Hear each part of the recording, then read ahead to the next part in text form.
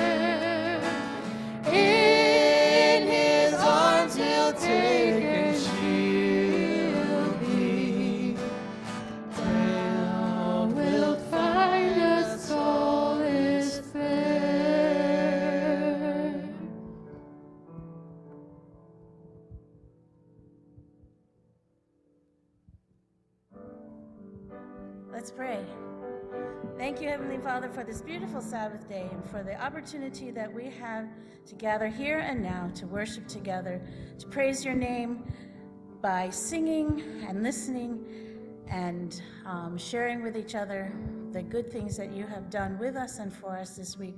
I pray a special blessing again on Mark as he speaks to us and all of us as we listen. In your name I pray, amen.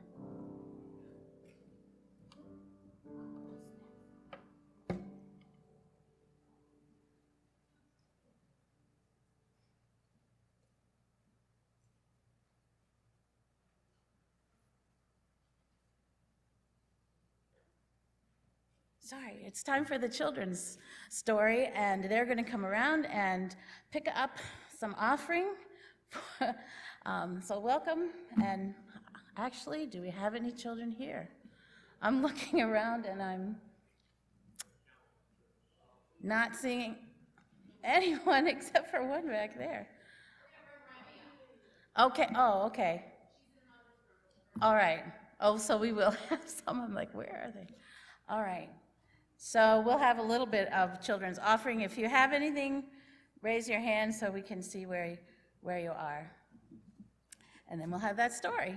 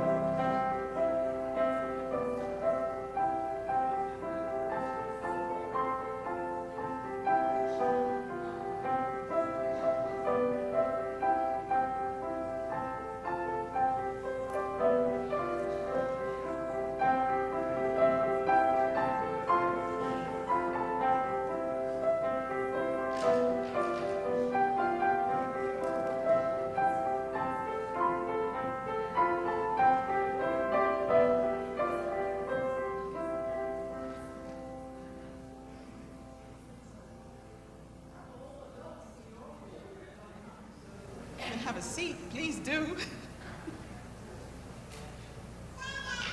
oh, there's one up there.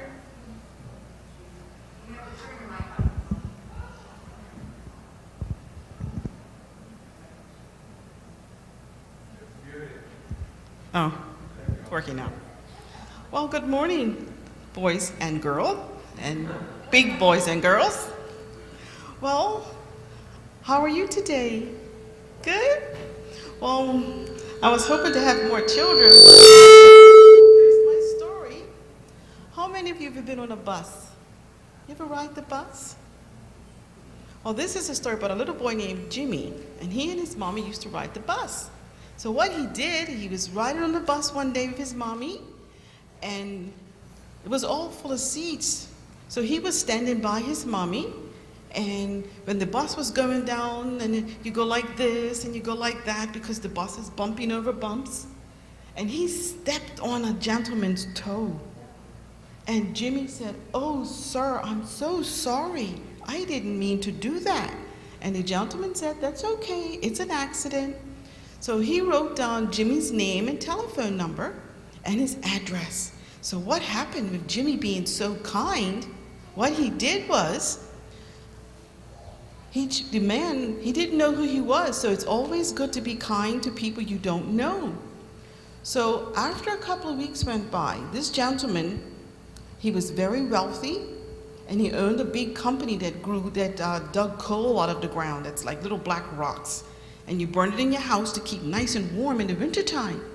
So he found out that Jimmy and his mom needed coal for their house. So what he did, he sent his driver over to their house full of coal bags in his car. But it wasn't a regular car like we have, I'm sure. It was a long, big car. People get in there, lots of people. It's called a limousine. He got in the car, when the car came up, the neighborhood said, Oh, this car must be lost because it's definitely not in our neighborhood. No one has a car like that here. Oh my goodness, it's going to Jimmy's house. So one of his friends come running over when they saw the car and they said, Jimmy, whose car is that? So the gentleman got out in a nice suit and he opened the door and he let out the gentleman. and He knocked on the door and he says, This coal is for you and your mom. And they thanked him. They were so happy. He didn't know, understand. He says, But why are you doing We can't pay for this. So he said, um, It's for free. You don't have to pay for it. So Jimmy didn't understand, and neither did his mom. So many years went by, and Jimmy was going to go to college. And every year on his birthday, he got a letter and also a birthday card. And it wasn't until he graduated. And when he went back to the back of the class and he was putting away his gown, he found out that it was the man that owned the limousine and also he saw on the bus. So don't, don't ever forget when you see something nice, always help people, okay? And thank Jesus that He gives us strength that we can do that. So you can go back to your seats. Thank you.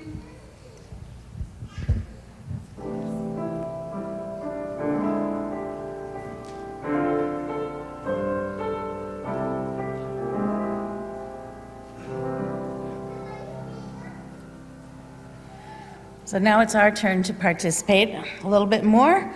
Um, our offering today goes for the Arizona Evangelism and the Conference Advance program. How many of you know what's involved in the Arizona Advance?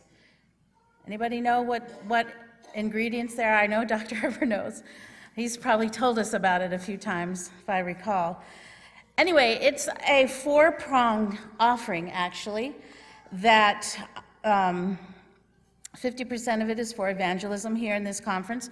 20% of it goes to our elementary schools, 15% to Camp Yavapines, and 15% here to Thunderbird as well. So it's a multi-pronged um, gift that we give uh, to the Arizona Conference, and particularly to growing um, Seventh-day Adventists in a number of different levels, from the very youngest in our elementary schools and in our camps, to on up through to our academy students, and then on to anyone that comes into the church.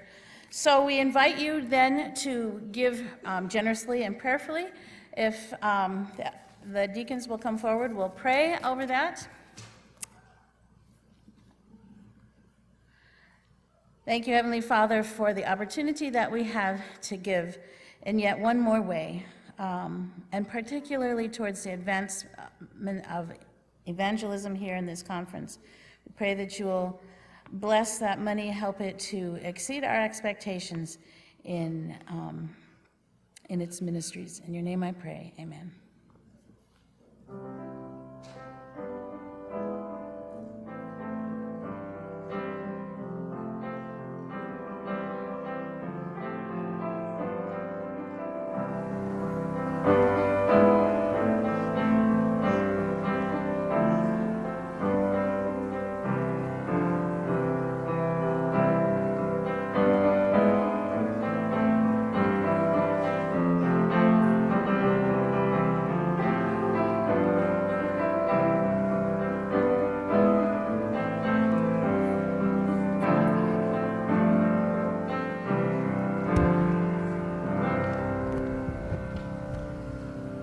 Good morning, church. So, someone asked me this morning, How was your week? And I sat there and I thought about it for a second. I was like, Wow, that is such a question. It wasn't meant to be like a trick question or a loaded question, but the more I thought about it, the more I realized, oh my goodness, this week was very long. There was a lot that happened in this week. And as I started going over everything in my head that happened this week, I started thinking about all the things I did incorrectly, the things I did wrong, the things I could have done better. And I discovered that I, my, my week was getting worse now that it's done in my head. Because I'm sitting there going over all the negative negativity in my head and I'm throwing it back at myself. And then I think about how other people saw me this week. They think, oh, they probably looked at that, they said that was horrible. They didn't like that. I should have done this better because now they're going to think poorly of me. And then it got even worse. And this all happened, you know, you know how quickly your mind moves. This all happened in the blink of an eye, and all of a sudden my week went from, oh, thank goodness the week is done, to, oh my goodness, my week was horrible. But here's the plus side we're here, we're in Sabbath. And I am telling you to give yourself permission to remind yourself that we're not judged by the way other people see us. And even better than that, who we are is not defined by who we see ourselves as. We're defined by who God says we are. If you believe that, if you need to remind yourself of that today, please stand with us as we sing Who You Say I Am.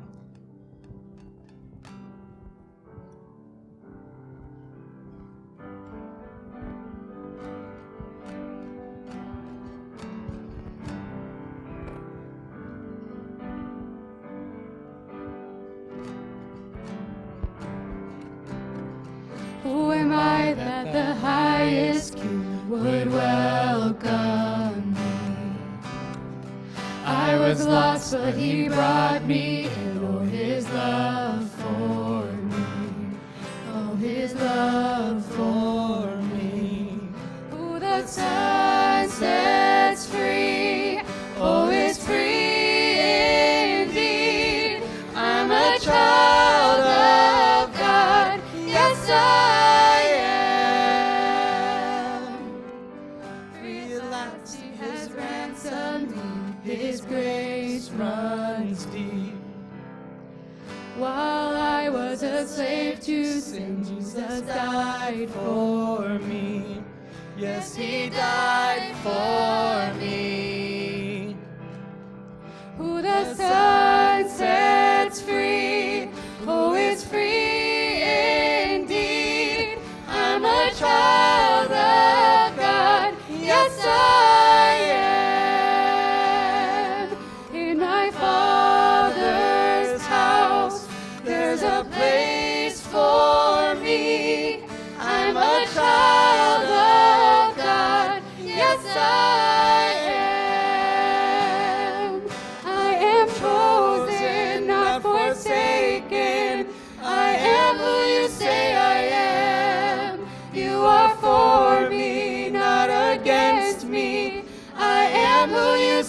I am.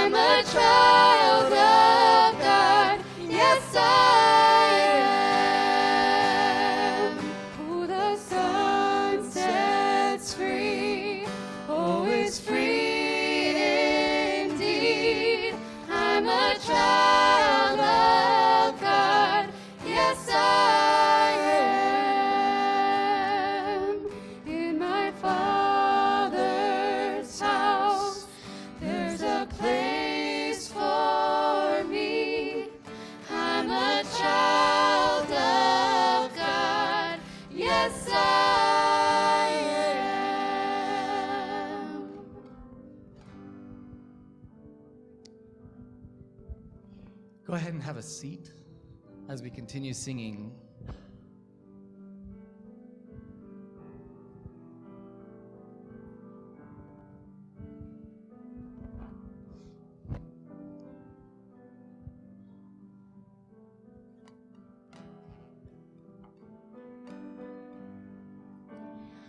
All these pieces, broken and scattered,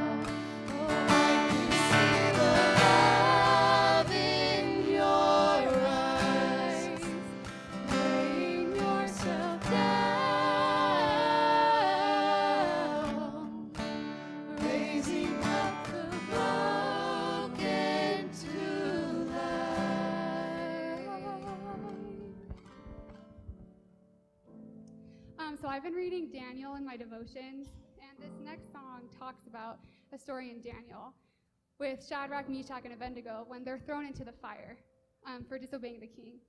And what I find so interesting about this story is the way that God chooses to intervene for them. Because literally, in all of God's infinite power and glory and wonder and majesty, He could have done anything. Or He could have chosen to do nothing at all. But instead, what He chooses to do is He gets into the fire with them. And the king throws them in the fire, and he says to his advisors, Hey, how many people did I throw into that fire again? And they all answer him, Three. And the king says, Well, I see four. And that fourth one, he looks like the Son of God. And I just think that's so interesting that literally, in everything that Jesus could choose to do for us, he chooses to get into that fire with us. He chooses to walk through our trials with us. I just think that there's something really powerful in knowing that we have a Savior who's going to stand right with us.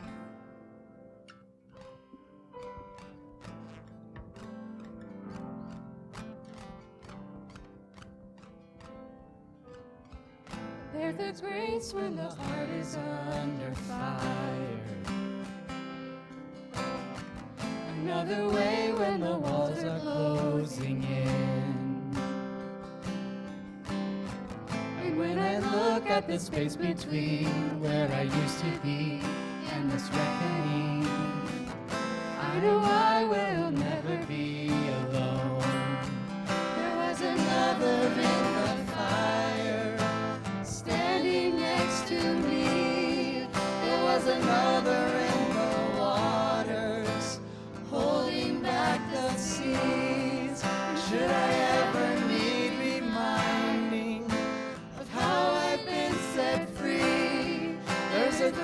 that bears the burden, where another died for me. There is another in the fire.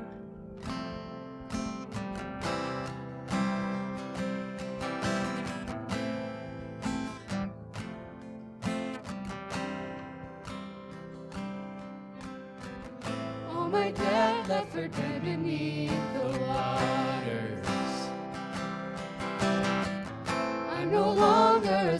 To my sin.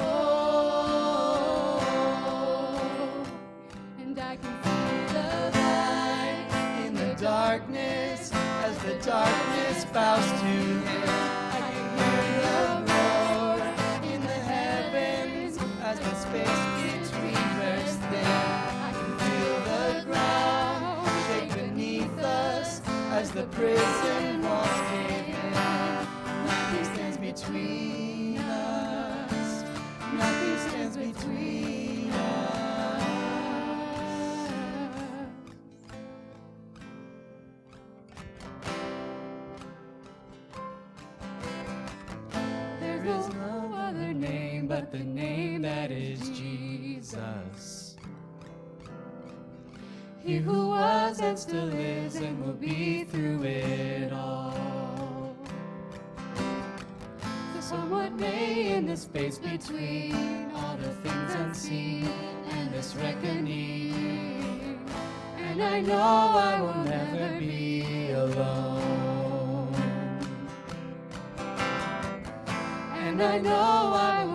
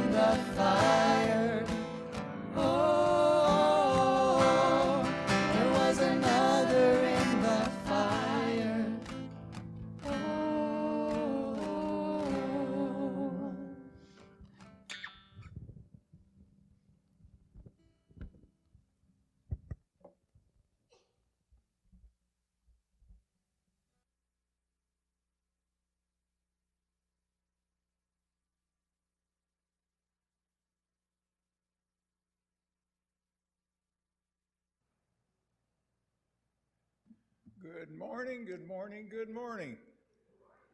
It's a great day, and I want to lay this on you. A great day starts in your mind. Am I right or wrong? Great day starts in your mind. But I want to put your mind at ease. I'm not going to sing, I'm not going to play an instrument, but I am going to use a familiar gospel tune to do what I'm going to do. But I love words, and I love books, and I read a lot, and I'm very envious of people that can write poetry and just paint a vivid picture or build an image that you can just see through words. And this is one of our treasures that we're losing in our Adventist churches. And, you know, it's, it's kind of sad, but I have developed a habit of using this book. Say, well, if you can't, don't know, it's called the Seventh day Adventist Hymnal.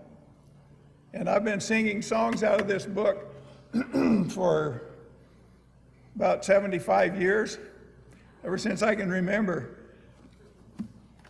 And so I know most of them by heart, but I love the Adventist hymnal and the old songs. And I have started using this as part of my personal devotion tool. You know, I, I read the Bible and I study my lesson and I, I read uh, Spirit of Prophecy and periodicals, papers, Signs of the Times Review, all of those. But I started getting this book out and I just open it. And I may come to a familiar hymn, I may come to one that I don't even know. And I read it slowly and absorb it.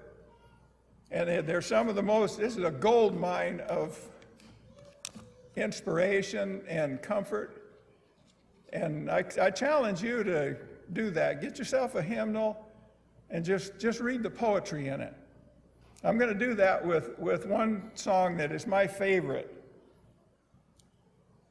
And I have this memorized, but I'm not going to try to recite it from memory because you get up in front and you kind of forget things. But it's called Abide with Me, and there's, there's one of my favorite words abide. What does that mean to you? To me, it means going into somebody's place and, and they say, Hey, here, have a drink of water. Take your shoes off, put your feet up, and just want you to be family. You know, you're not visiting as a friend or a coworker or a classmate or anything. You are abiding. Abide with, oh, and, and I'd like you to shut your eyes when you listen to this. I do that once in a while when, and during the sermon or something. I'll kind of shut my eyes. People think I'm sleeping, but I'm listening with my whole being. So I'd like, if you feel like it, shut your eyes and just listen. Okay? Abide with me. Fast falls the eventide. The darkness deepens. Lord, with me abide. When other helpers fail and comforts flee, help of the helpless, abide with me. Swift to its close ebbs out life's little day. Earth's joys grow dim, its glories fade away. Change and decay in all around I see. O thou who changest not, abide with me. I need thy presence every passing hour. What but thy grace can foil the tempter's power? Who like thyself my guide and stay can be? Through cloud and sunshine, abide with me. I fear no foe with thee at hand to bless. Ills have no weight, and tears no bitterness. Where is death's sting? Where, grave, thy victory? I triumph still if you abide with me.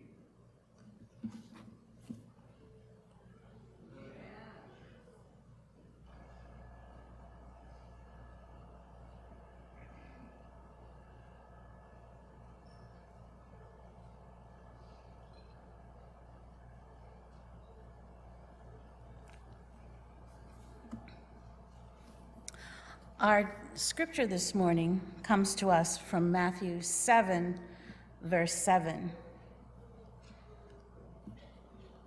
and I'm just going to have to say it to you because my Bible decided to update now. That's the problem with um, electronic, I mean, digital devices. But anyway, Matthew 7 7 says, Seek and ye shall find. Or, um, now I forget it. Seek and you shall find, ask and it shall be opened, it shall be given to you, knock and the door will be opened unto you. Anyway, that's something to that effect. Yes, I'm sorry. My Bible went away on me. Um, I do want to say something, though, about the first part of our worship service. It's been a real blessing to me so far. I don't know about you. Were you blessed in all the different things, even with our children's story with just two children, but was a great story for the rest of us. The worship team that was up here, I have to say, I felt like I was in school. Um, those five were my among my first students here at Thunderbird. Um, it was a pretty cool feeling to be sitting on that side of things and letting them teach me. Um, I loved Bob's idea. I'm going to do that. Um, that's a wonderful thing. A lot of good, good messages inside. And now we have our friend and colleague Mark, who's going to share the message, and I'm sure he'll tell us the, the actual verse, but it's Matthew 7 7.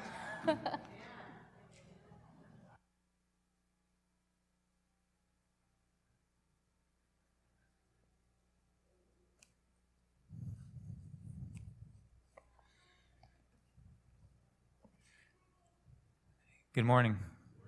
All right, we're working. It was one of those weeks. You'll, you'll notice in your bulletin that the Bible verse that's printed there, I believe, is uh, Luke 1 7. Is that right? 17? Well, whatever it was, it was not the right verse, and it was my fault. It was not a typo, it was an accurate representation of what I texted um, over the phone what the Bible verse was. When I looked at it and I read it, and I was like, this is not what I meant. Um, I was in the airport when I texted that, so my apologies. Um, the actual Bible verse um, is Matthew 7 7. Ask and it will be given to you, seek and you will find, knock and it will be open to you. And uh, we're going to talk a little bit more about that in just a minute. Um, but I'm going to take a unique approach to, to starting off this morning. Uh, I have the privilege of teaching the junior Bible class at Thunderbird Adventist Academy. And one of the things that um, I really enjoy about that is the opportunity to answer questions. Um, young people have great questions, and some of the questions they ask make you squirm in your, in your, your shoes. And uh, sometimes you can't answer the question right then. You have to do a little work to, to find a good answer. And uh, I, I substituted for Pastor Zach last year and, and got the great idea of having a like a uh, he has a bulletin board, I believe, with questions that students ask, and he posts the questions on the bulletin board. They're anonymous, so there's no nobody feels you know stupid or vulnerable or anything like that. And so I have this little tub, and I asked the students that first week of class to write down any questions that they had about Christianity, the Bible, anything like that. And uh, they wrote some really good questions. And one of the questions I'm going to start with today. Um, has nothing to do with the sermon. Uh, you guys ever listen to Doug Batchelor? Some of the, the, the you know presentations that he does. He oftentimes opens with a question and answer series, and he'll pick a few out. And uh, so I'm going to adopt that for this morning's worship service, and we're going to start off with a really great Bible question. And the reason I want to share this with you is because it's personal to me. When I was um, in middle school, I had a aunt and uncle who had a baby, and the baby died of SIDS, sudden infant death syndrome. And uh, that was one of the things that I wrestled with through my teens and even early 20s. And to be quite honest with you, it was one of several questions that was never answered in a way that represented God's character to me and pushed me into um, a several year period where I called myself an atheist. Um, and uh, my aunt and uncle, when the, the baby passed away, they went to their priest, and the priest told them that, uh, you know, they, they asked the question, we, hadn't had our baby baptized yet, will my baby be in heaven? And the answer was probably spoken as gently as possible, but the priest said to my aunt and uncle, I'm sorry, your baby will not be in heaven because it was not baptized.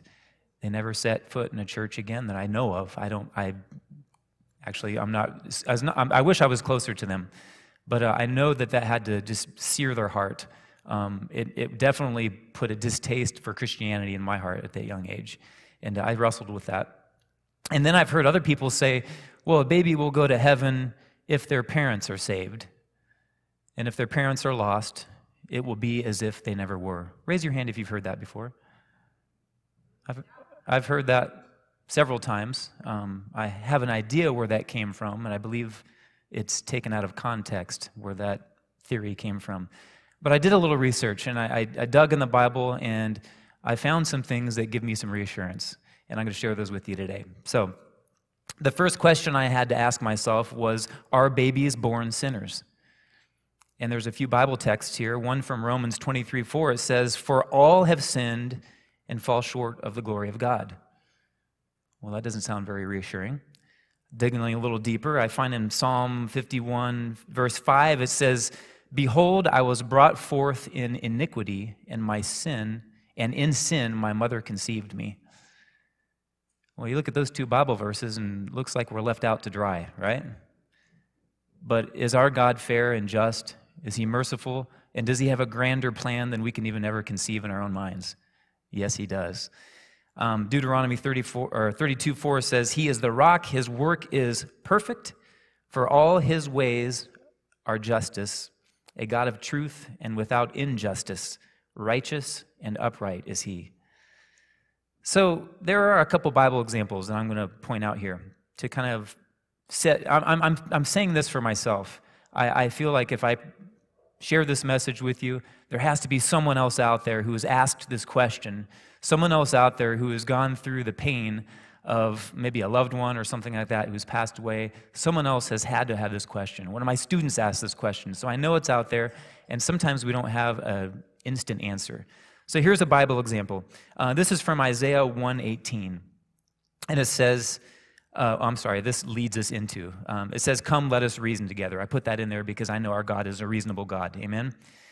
The example comes from Jeremiah 19, verse 4. Jeremiah 19, verse 4. And it says, Because they have forsaken me and made this an alien place, because they have burned incense in it to other gods, whom neither they, their fathers, nor the kings of Judah have known, and have filled this place with the blood of the innocents. Now, what Jeremiah is talking about here is Judah slipping into idolatry to the point where they were actually sacrificing their own people to other gods. That's a pretty sad state to be in, especially when we're talking about Judah. These people should have been the closest to God. The end part there, where it says, filled this place with the blood of the innocents. Now, we do a little digging and research. We find out that many of these people that were sacrificed, these human sacrifices, were children and babies. And here the scriptures call them the innocents. Now that seems interesting to me. If a person is, if a baby dies, and if, as some people say, that baby is only saved if their parents are saved, then why is it that these babies are called innocent? These children who are sacrificed, these babies, why are they called innocent? Their parents were obviously worshiping idols and sacrificing humans, which was definitely against God's plan. So if the theory that a lot of people say that a baby is saved only if their parents are saved, I think we can reason together that these babies who are called innocent, it, it, it doesn't fit. You, see where I'm going with that? Does that make sense? God call, or in the scriptures, God's saying that these are innocent. Now, that's slightly gray still to me. That, that doesn't, that's not the, the, the stamp that, that makes me happy and want to walk away with my head up. But it is one small step in that. And I'm going to share another story with you. Um, well, first let's read Psalm 139 13. It says, For you formed my inward parts, you covered me in my mother's womb. God obviously has care for us and interest in us from the very time of conception. He is invested in life. And from the time a baby is conceived, God is part of that. And uh, we, we think about that in babies, and it goes on to, to tell us that unless we be like these children, we're never going to enter the kingdom of heaven. There's a lot of verses that allude to the fact that we need to become like children to even enter into heaven. Now I'm going to read a little story to you. You guys know King David, right? King David made some amazing victories in his life, but he also had some pretty poor choices as well. And an impulsive afternoon or evening, he was up on his roof and he looks and he sees Bathsheba bathing on her roof. He calls for her. They have an inappropriate interaction. She becomes pregnant. He goes and he calls for Uriah to come and tries to deceive him into thinking that it's his child. Uriah, in his uprightness and integrity, sticks to the, the truth and goes back into the battlefield with his own death warrant. And David is now guilty of, um, what's the word I'm looking for? Adultery, thank you. He's, he's guilty of adultery and he's guilty of murder. Okay? The baby that was conceived, you know, is born. Him and Bathsheba get together, and then we read this. And David is mourning because his child with Bathsheba is now sick to the point of death. And it says this it says, uh, while the child was alive, they're questioning David because while this child was still alive and sick, David was fasting and he spent days on his face in prayer and repentance. And it was asked David, while the child was alive, uh, or David is actually saying this, he said, While the child was alive, I fasted and wept. For I said, Who can tell whether the Lord will be gracious to me that the child may live? But now he is dead. Why should I fast? Can I bring him back again? I shall go to him, but he shall not return to me. The baby had passed away. David stopped mourning, he stopped weeping, he stopped lamenting.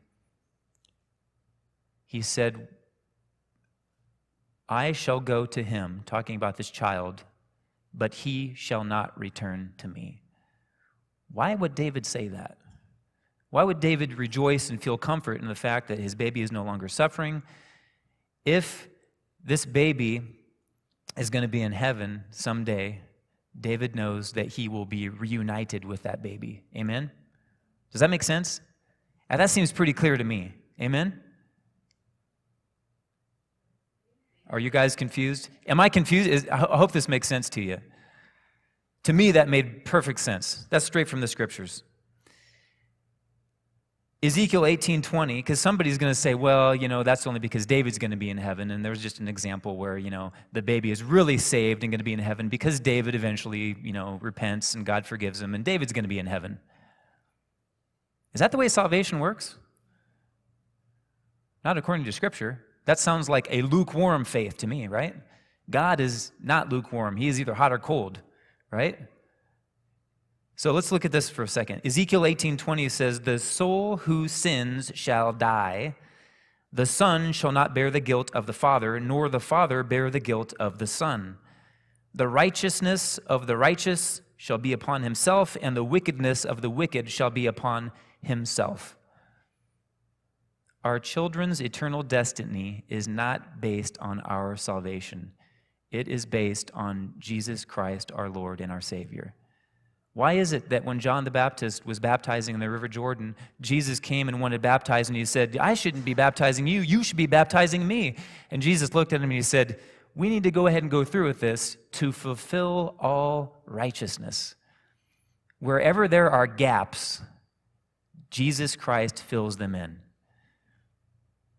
Where a baby is called innocent in the place of sinful parents, when David says, I, My child will not return to me, but I will go where he is in heaven. Now, we obviously know the baby didn't go that day, but in the resurrection, that baby will be in heaven. And there's an author by the name of Ellen White who has a really good quote that I want to share with you. And this, uh, all the evidence is right there in the scripture, but I believe that this little thing, this little um, quote from her, uh, gives a little more insight into this. This, this Bible scholar says, as the little infants, this is talking about the resurrection day. This is found in um, Book 2, Selected Messages, page 260, and it says this As the little infants come forth from their dusty beds, what, what are these dusty beds that she's talking about here? The grave, right? As these little infants come forth from their graves, they immediately wing their way to their mother's arms. There we have an example of children whose parents are saved, the baby is placed back into their mother's arms. They meet again, never more to part. But many of the little ones have no mother there.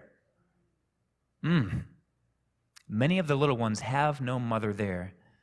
We listen in vain for the rapturous song of triumph from the mother.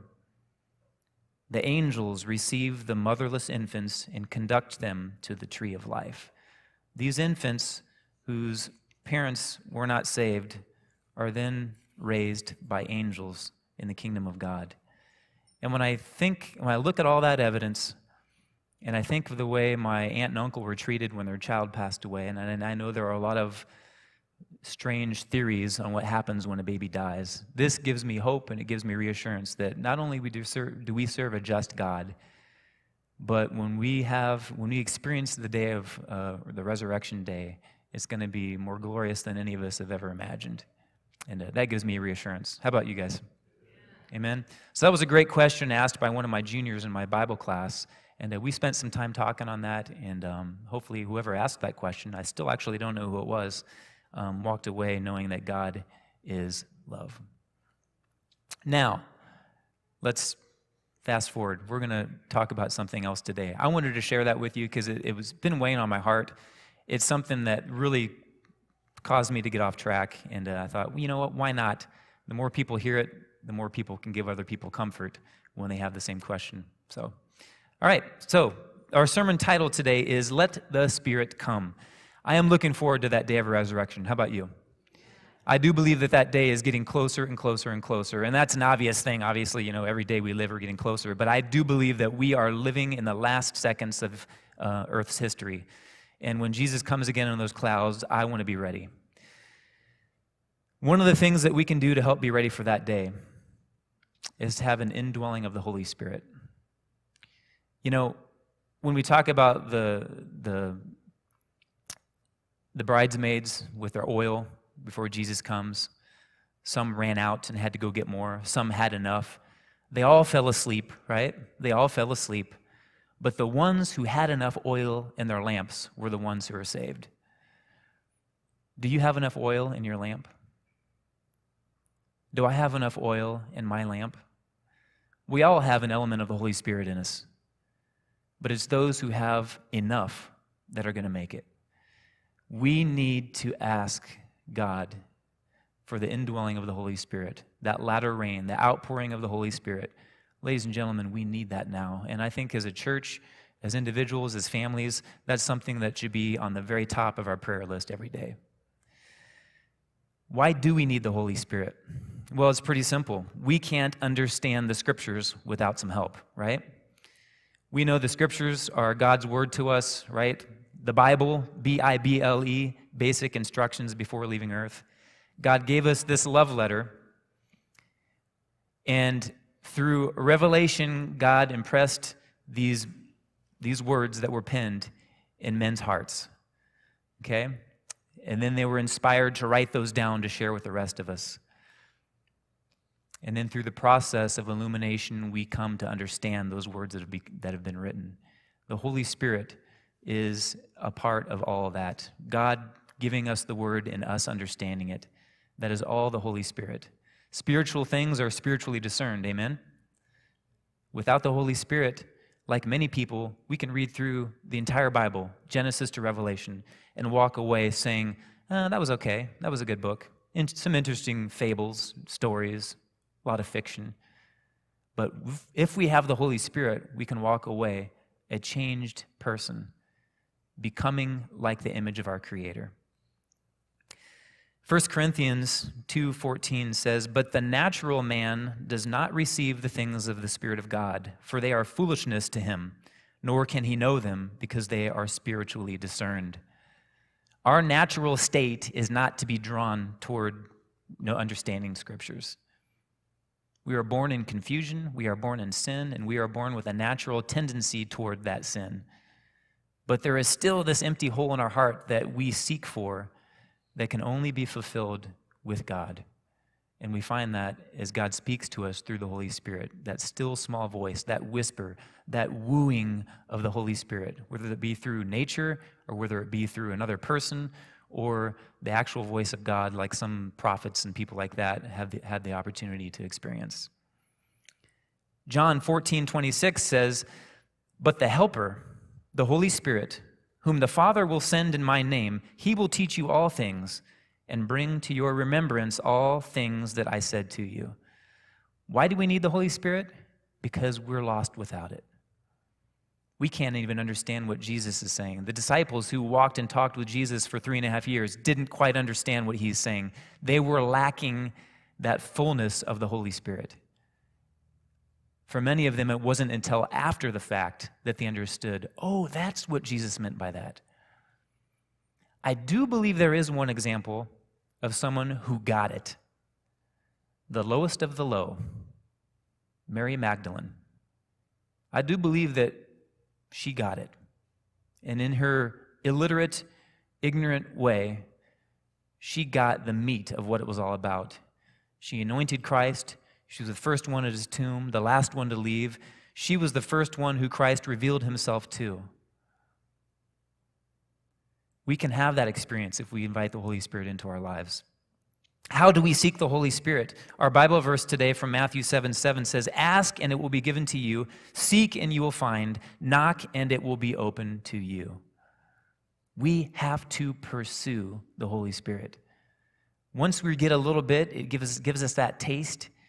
We're drawn to it, and we have to seek it. We have to ask for it. We have to knock, and the door will be opened.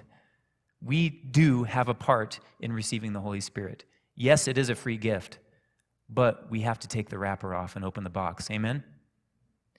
Matthew 13, 44 says, Again, the kingdom of heaven is like treasure hidden in a field, which a man found and hid. And for joy over it, he goes and sells all that he has and buys that field. Man finds a treasure. He knows its value. He goes and he sells everything he has so he can be the legal owner of that treasure. He buries it in the field in fear that someone else might take it from him.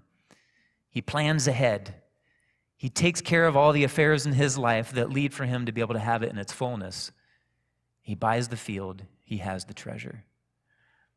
I share a little story that happened to me when I was 16 years old. I had the opportunity to go to Sydney, Australia for 10 days to run a, a race. And while I was there, I was with a group of American athletes and um, we were touring around Sydney, and we got to see the Opera House and all the cool stuff and the um, pretty backcountry. We went to a really cool ranch, and they taught us how to throw a boomerang, and they sheared a sheep for us, and then we had a big steak dinner and all this kind of stuff. One of the cool things we got to see, though, were some opals. We went to a jewelry store that specialized in opals. In Australia, they have these opal fields and stuff like that, and it's one of the places in the world where they have some of the nicest and most abundant opals. And uh, the person behind the counter was holding up this beautiful black opal that was worth more than $10,000. And we were oohing and eyeing and, oh, it's so pretty and all this kind of stuff. And he was explaining to us what opals are, why they're valued, what opals are more expensive than others, and all this kind of stuff. And I was standing in there with all my peers. I was, I, I was, I grew up in Indiana, and for some reason on this trip, I was the only kid from Indiana uh, among, amongst these athletes and uh, most of the kids were from California. And when you're a little corn fed Midwestern boy, people from California were perceived as cool. Okay? Um, if you just, it didn't matter if you were cool or not. If you were from California, it's like, whoa, you're from California? It's like a different country or something. Yeah, kind of is actually like a different country, but. Um, and I was standing there, and back when I was 16 years old, it was cool to have these shoes. We called them boats, okay?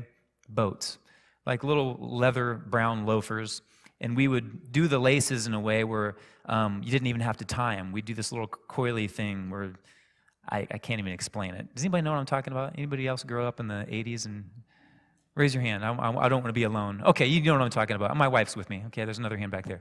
All right, thank you, Oliver. You know what I'm talking about. So I had these boats on, and it was cool to not wear socks with them. Okay? Now, teenage boys have a tendency to not have the best hygiene.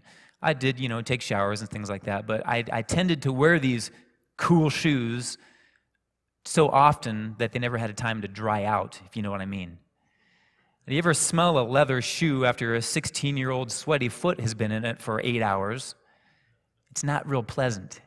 And I was very aware of that and very much not wanting to ever take my shoes off until I got home so I could wash my feet and it wouldn't reek the whole entire house.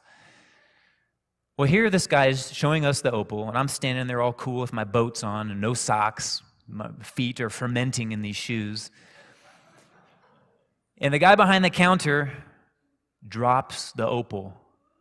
Ting, ting, ting, ting, ting, ting. And then there was no noise. No one knew where the opal went except for me.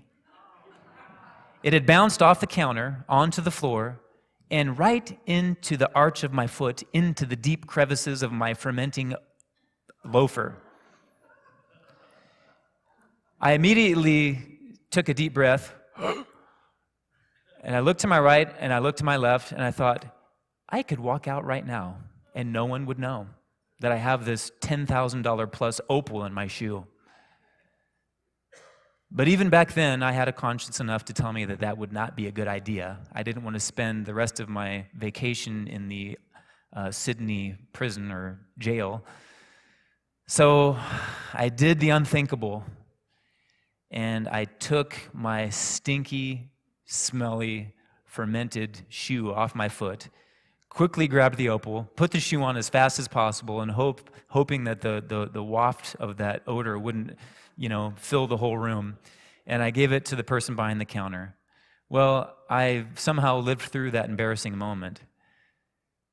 But the point of the story is, I had a very, very valuable treasure land right in my shoe. I didn't have to knock. I didn't ask. I didn't seek. As a matter of fact, I didn't even want it. And when I got it, I wanted to get rid of it as quickly as possible. The Holy Spirit should not be like that experience. We should seek it. We should knock for it. We should pursue it like nothing else. We should sell everything we have so that we can be the rightful owners of the Holy Spirit. Good thing for us, all we have to sell is our old life and be born again in Christ because He's already paid the price. Amen? Speaking of gaining the Holy Spirit, is it possible to have the Holy Spirit and then let it go? You guys heard the old expression, once saved, always saved, right? Is there any truth to that? Can a person have the Holy Spirit and do great things for God and have a relationship with God and then have experiences and choices in their life that lead them astray to where they backslide so far that they let go entirely and turn the opposite direction. Right? I mean, Lucifer was the highest ranking angel in heaven.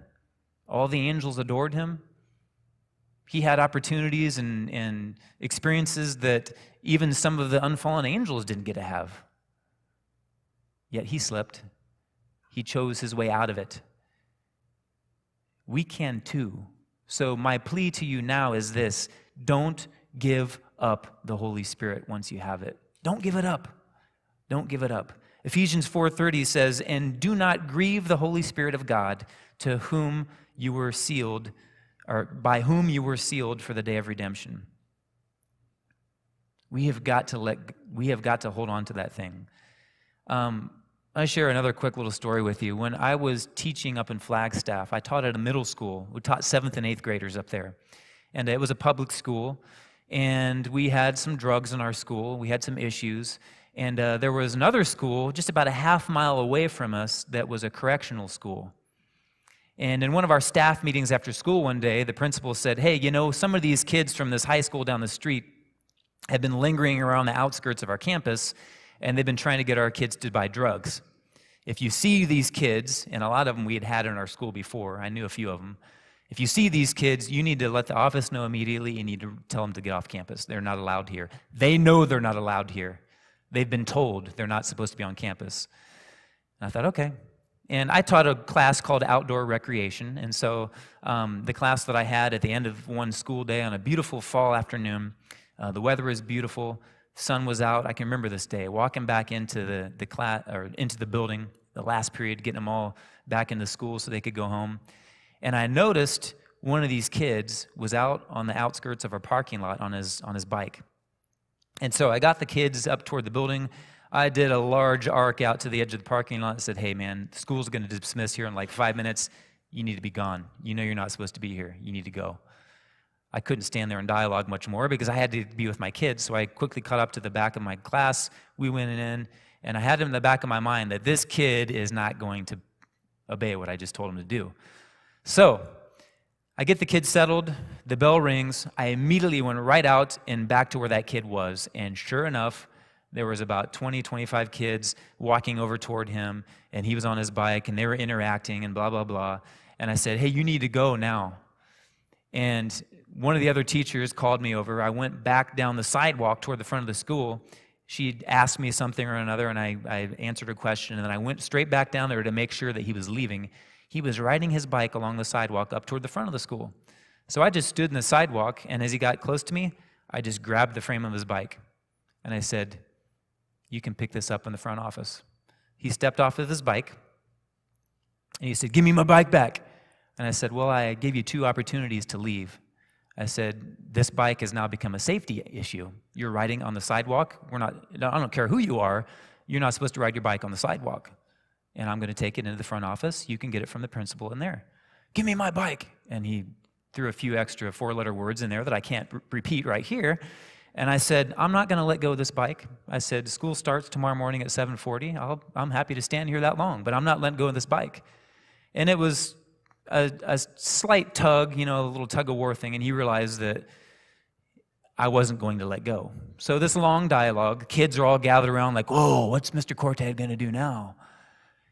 Teachers walked by and saw this very uncomfortable confrontation, and several of them walked by did the look over the shoulder, quickly put their nose to the line, and went quickly to their cars.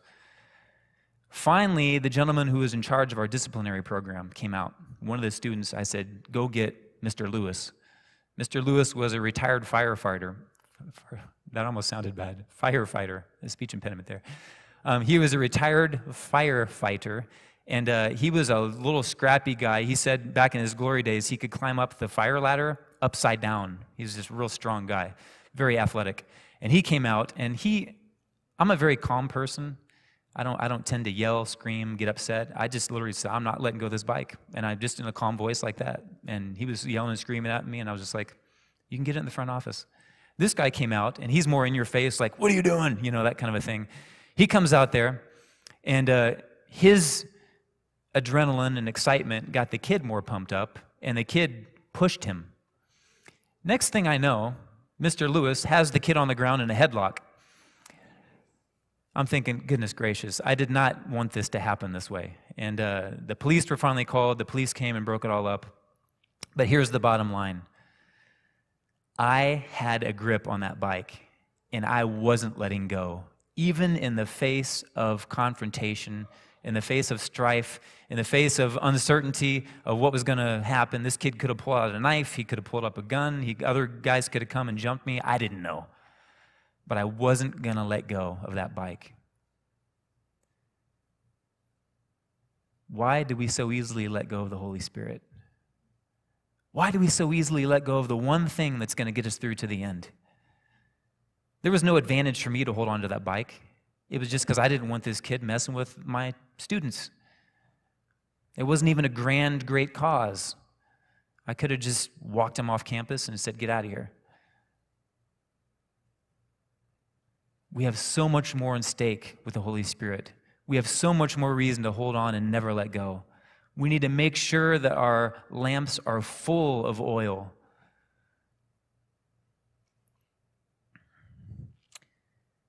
Ephesians 4:30 one more time. And do not grieve the Holy Spirit of God by whom you were sealed for the day of redemption. Why is this so important? Why is this so important? We live in the end times and there are crazy things happening all around us. I want to share a short story from uh, the book of Acts. Stephen, okay, the first deacon, right? Or one of the first deacons. He was a man who could preach. He was a man who was full of the Holy Spirit. He was a man who ended his last days in a very similar manner to Christ. He died, he was a martyr. He said, Forgive them, for they know, they know not what they're doing. I mean, similar words to Christ. And here we have Stephen, who was opposed by this group of men called the Synagogue of Freedmen. and they questioned him, they challenged him, and Stephen refuted them with the word of God. And it says in Acts 6:10, and they were not able to resist the wisdom and the spirit by which he spoke. Stephen, a man full of the Holy Spirit, when oppressed by these men, trying to squelch him out of existence because they threatened their faith, even though he had the words of life. And they could not resist the wisdom and the spirit by which he spoke. He was filled with the Holy Spirit. We need that same Holy Spirit. And then it goes on in verse 15, it says, And all who sat in the council, they had brought him because they had falsely accused him. And they brought him to the council, and he sat in the council, verse 15, looking steadfastly at him, and they saw his face as if it were the face of an angel. He had the glory of God shining through him. I'm going to end on this last short story. I know we're getting late here. When I lived in Kansas, there was a ministry called Socks for Souls, and we delivered socks to homeless people. And my friend and I, uh, my friend is the one who started and maintains this ministry. And one afternoon, he invited me to go with him. And so we went out into what they call the bottoms. This is in Kansas City, if anybody's ever been there. There's an area um, in Kansas City called the bottoms, and it has that name for the reason, because it is the pits. It's the slum, deserted gas stations with weeds growing up, vacant lots, um, bypasses going up and over. And we went in this area with our bag full of socks and little literature to pass out, scripture verses and things like that. And a lady had baked some muffins. We had some muffins to give out too. And we go into this situation. I'm going to keep this story short. We're looking for a particular man and we're calling out his name. And in seeking for this man that he had had some interaction with the previous few weeks, two other guys come from the distance. And we see him and we start to approach him until we realize that they were very aggressive. They were, they were drunk, they were swearing, they were cussing, and they were telling us to get out of their territory. And by the time we realized really what was going on, they were upon us. And we felt very threatened. We were very vulnerable. All I had was a backpack full of socks and muffins. I mean, you can't defend yourself with socks and muffins. And these guys were very, very aggressive. And the smaller of the two was very, very drunk.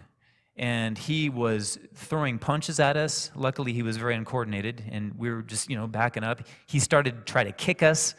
Long story short, there was about a five, 10 minute interaction of them kicking and spitting and all this kind of stuff. And then one guy, the bigger of the two guys, had picked up a rock about the size of a man's head.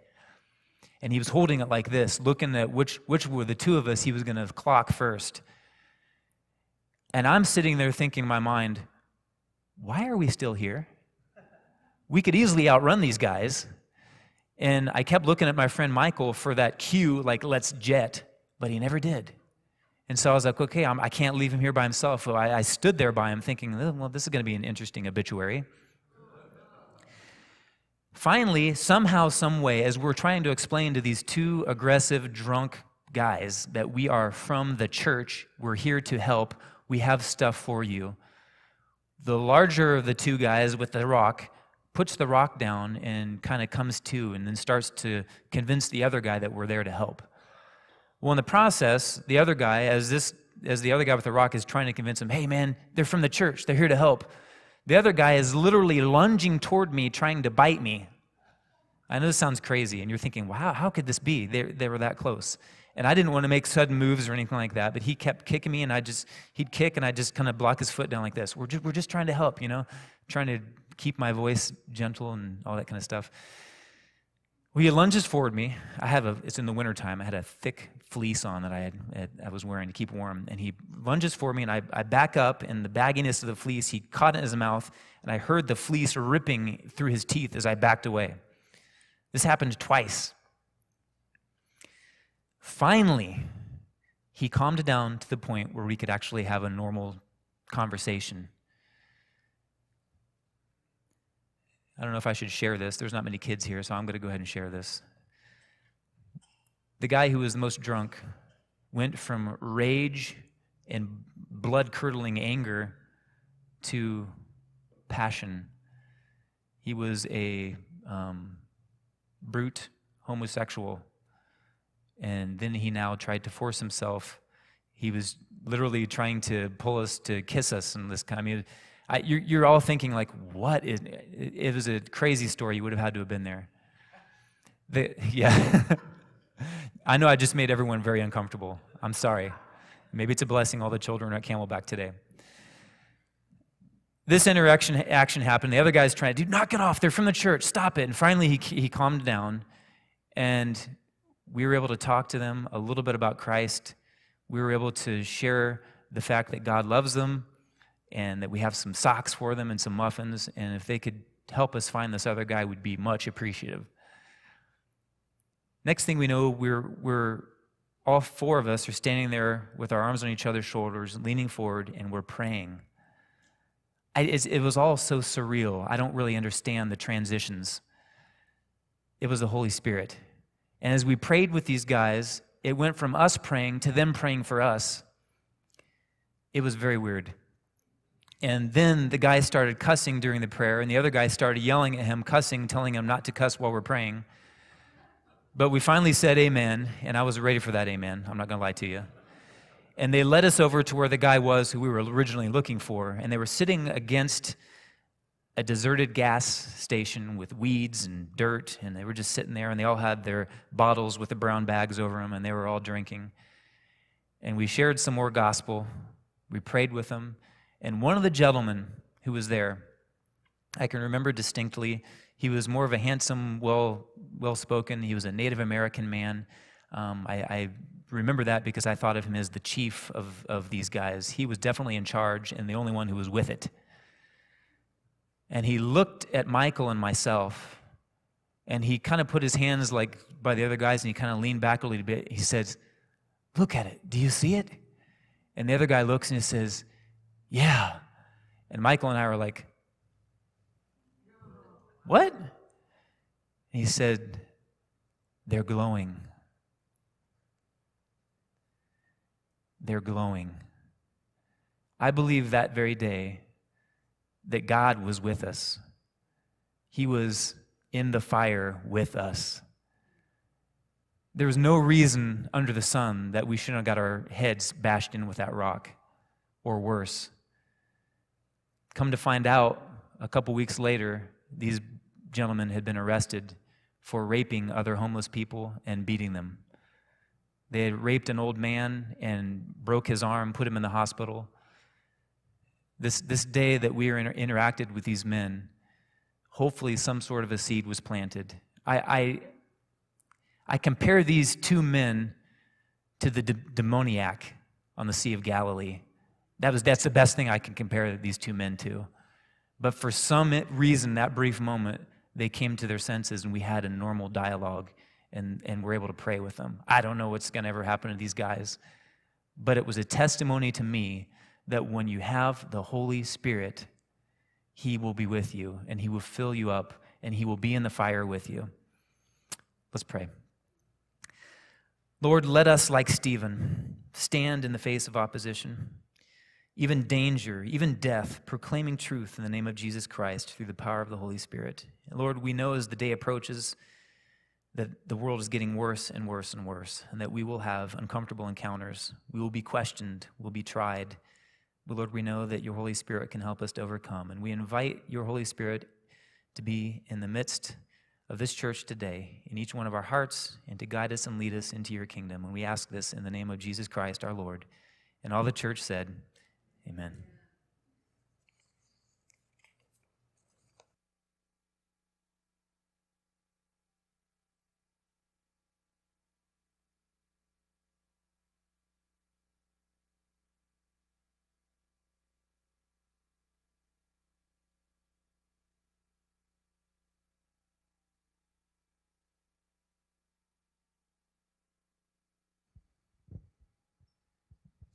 It's now time for our family prayer. Um, if there's anybody that has had something interesting going on this week, um, something important that you'd like to have, you'd like to offer up to the Lord and just ask for help with, please, we invite you to come down. And for the rest of the church, we invite you to kneel now.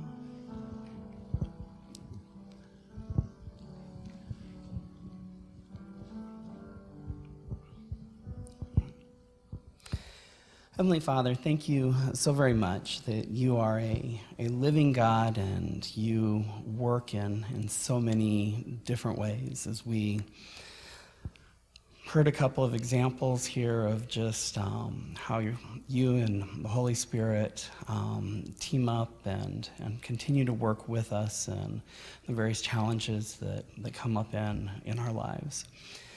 We thank you for the blood of Jesus, and we thank you for, for that gift that gives each one of us hope and gives us the the ability to, to start over new. And for those of us who have had rough weeks, maybe we've, we've fallen in some way or another, we just um, ask right now that, that we accept that um, gift that your son gave us and, and we continue to move forward.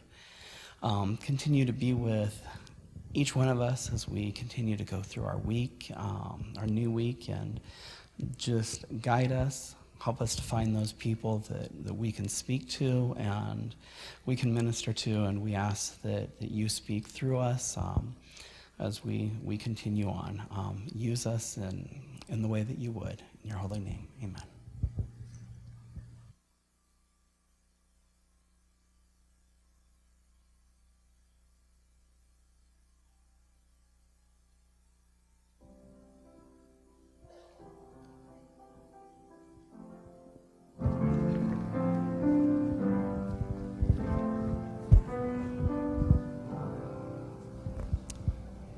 So, listening to Mark and the stories that he has, it's just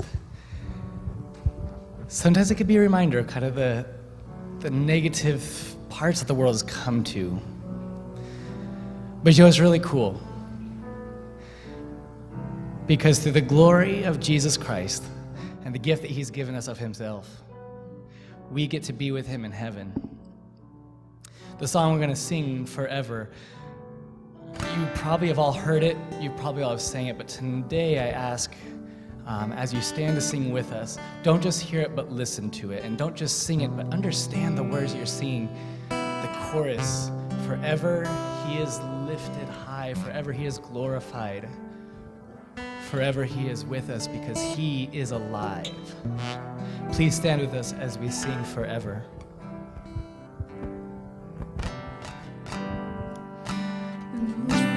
Stars they met. The morning sun